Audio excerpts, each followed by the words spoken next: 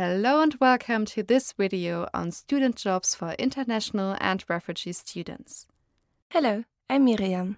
And I'm Pia, and together we would like to introduce you to the advantages of working alongside your studies, how much you can work, and how much you are allowed to earn. We would like to give you suggestions on where and in which field you could work, and finally give you tips on how to write your application.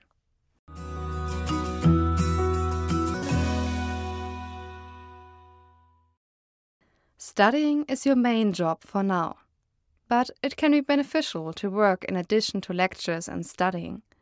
Not only can you earn some money, but you can gain important work experience for your career entry. Because your chances are better if you already have work experience. With a student job, you can already build up a network, and it can be helpful for your integration in Germany. In addition to helpful contacts, you will get to know the German labor market and work culture. Through student jobs, you can easily try out what you enjoy and find out in which field you would like to work after graduation. In addition, a job will help you to improve your German language skills. Well, that sounds great, doesn't it? So, should you start right away? It depends. When you have just started your studies, I am recommending to focus on university first, before thinking about working. Because starting your studies can be challenging. You have to learn how to organize yourself and how university works. After you pass your first exams, you will be able to better assess how much time and energy you have for a student job. Let's move on to the legal issues because there are a few things to keep in mind. Never work without an employment contract. It contains not only your duties, but also your rights. In Germany, there is a minimum wage of 12 euros an hour.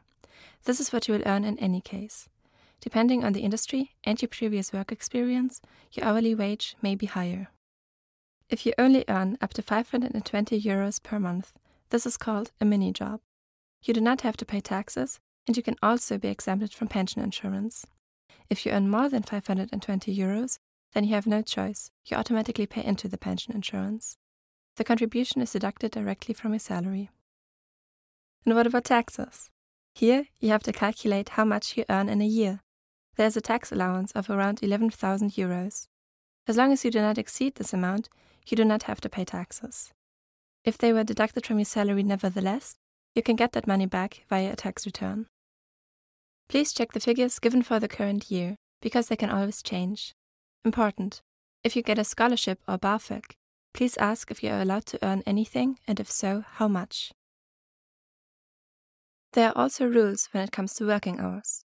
Students are generally allowed to work up to 20 hours a week. The thought behind this is that studying is sort of your full time job, and studying is what most of your time should be used for. If you decide to work more, you will lose the privileges of being a student and will have to pay full insurance contributions. However, there are exceptions. Students can work more hours on weekends, during the lecture free period, or for a short and limited period of time. But different rules apply depending on your nationality and your current residence status in Germany. Students who are citizens of countries that are part of the European Union the EEA, and Switzerland stand practically on equal terms with German students and have free access to the German job market. Students with a refugee background can work depending on the status of their asylum process. Students who do not come from the EU, EEA, or Switzerland, who normally have a student residence title according to paragraph 16b, are allowed to work, but only for a limited amount of full days and half days a year. However, if you are employed at your university as a student assistant, you can work without restrictions, since it is assumed that jobs in the academic sphere have a positive impact on your studies. Make sure to inform your immigration officer before starting to work more than the allowed amount of full or half days to avoid any problems. Self employment or freelance work is only possible in exceptional cases and with the approval of the immigration office. What are the typical forms of work students do? There are three. For example, you can work in a mini job. That's up to 520 euros a month. You can also split that between two jobs. The job can be in a company or in a private household. Another possibility is short term employment, for example, a semester break job that lasts no longer than three months. And the classic is working as a so called Werkstudent, which is a regular job that you do alongside your studies for up to 20 hours a week and for a longer period of time. You pay into the pension insurance, and depending on how much you earn, taxes are added.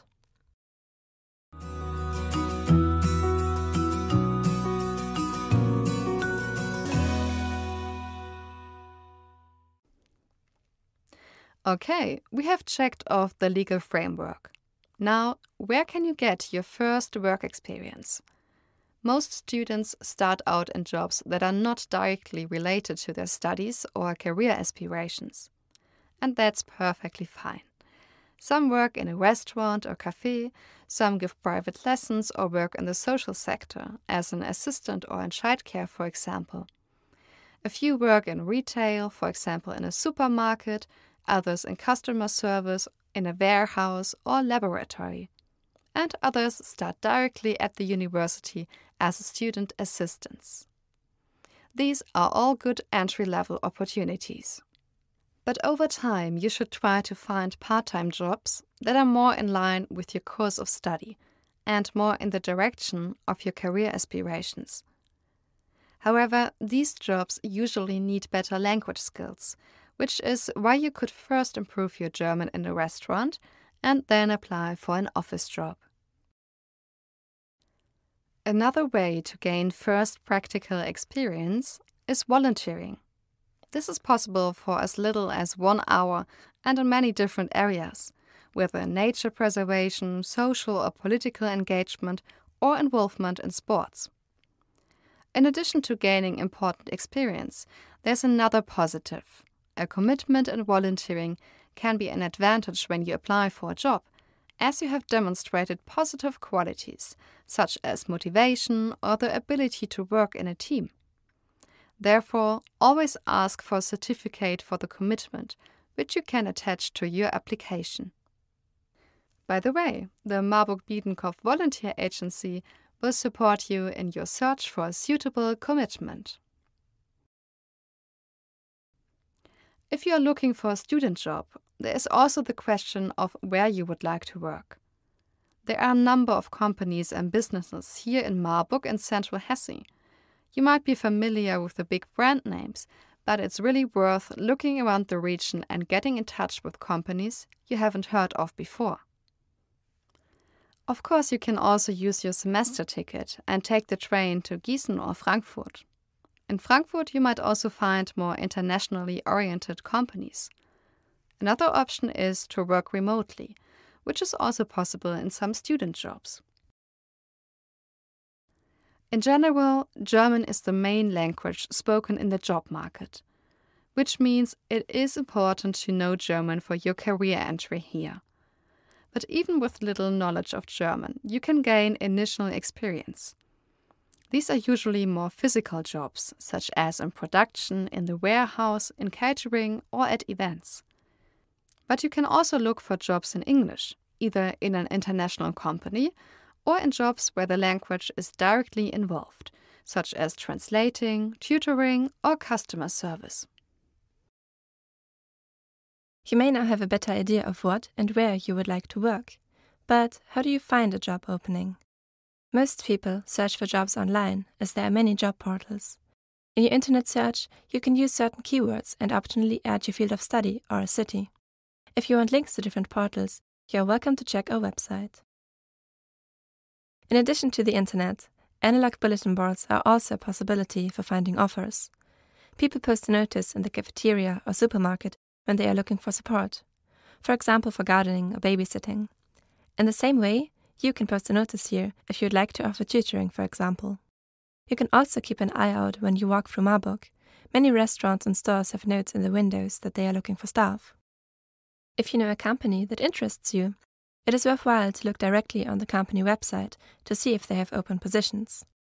There, you will also find the contact person to whom you can send your unsolicited application. This means applying on your own initiative. There is no advertisement to which you apply. The advantage there is no competition. The disadvantage maybe the company has nothing free at the moment. You can also easily apply in cafes and restaurants without an advertisement. You can take a chance to go in and ask directly at the counter. Some people also find the job through contacts, through the network they have already built up during their studies or in their free time. So, don't hesitate to ask your fellow students in the seminar where they work. Job fairs are another great opportunity, especially for international students. Here, wide varieties of companies have a booth, and you can talk directly to the employees, introduce yourself, and ask questions about the company. And lastly, it is possible to be found passive by signing up for social networks like LinkedIn or Xing and creating a profile.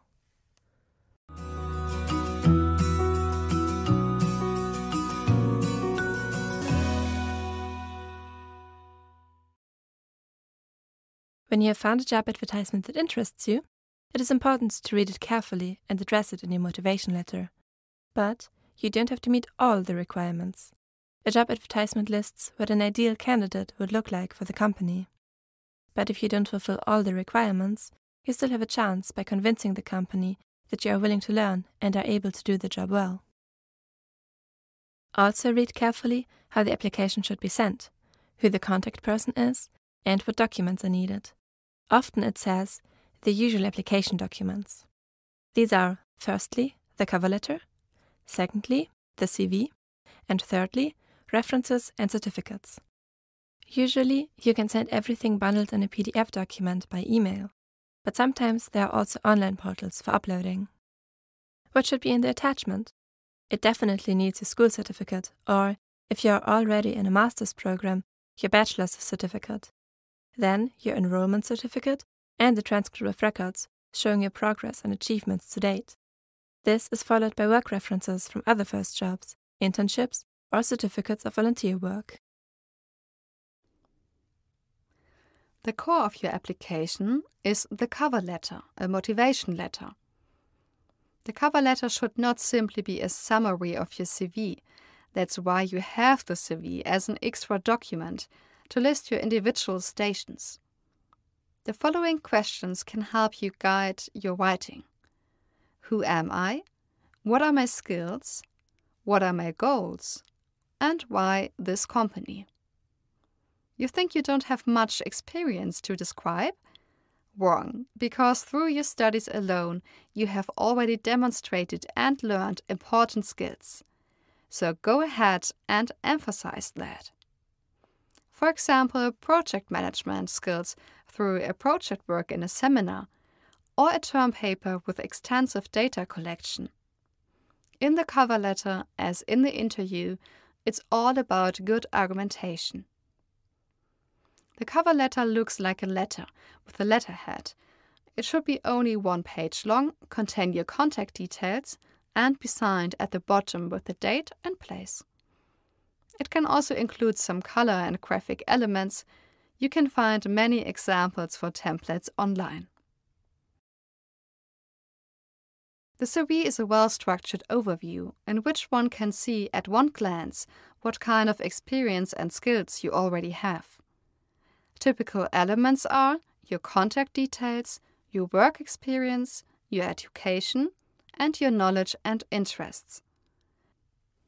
The CV should be anti-chronological. This means the most recent should come first. A photo is optional. You can use one, but you don't have to.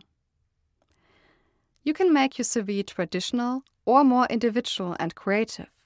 This depends a bit on the company and the sector, but make sure that your CV and the cover letter have the same design. Just have a look online, you will find many examples and free templates. Your written application was successful and you are invited for an interview. Congratulations, you have cleared the first obstacle. But the interview is still an important challenge. In a personal interview, you have to introduce yourself, answer questions, and convince the employer that you are the right fit. Therefore, it is best to practice the interview with friends in a role play. You can find a list of typical questions online. especially how to introduce yourself at the beginning and how to summarize your CV, can be easily prepared and practiced. My tip emphasize the positive aspects of your international background.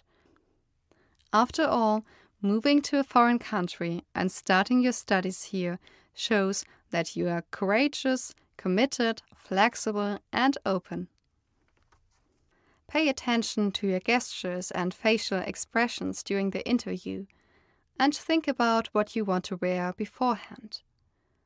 It's also important to prepare your questions towards the company, because at the end of the interview, you usually have the chance to ask your own questions, so it's best to think about them beforehand. And last but not least, be courageous and open. If there is something you don't understand or don't know, say so and feel free to ask.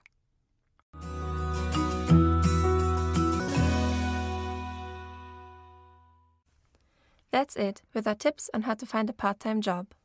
Still have questions? No problem. We're here for you and we'll be happy to advise you. You can find our contact details on our website and you can also find the link in the info box to this video. Good luck with your applications and see you soon.